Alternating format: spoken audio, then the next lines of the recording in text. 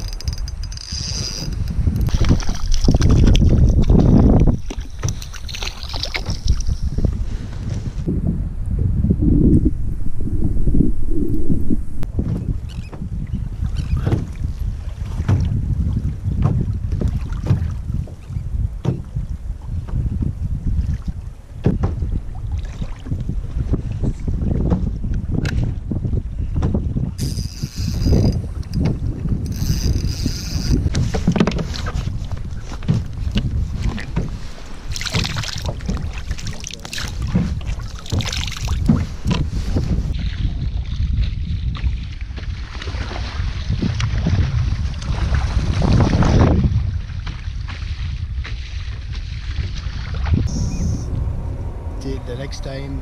Bye.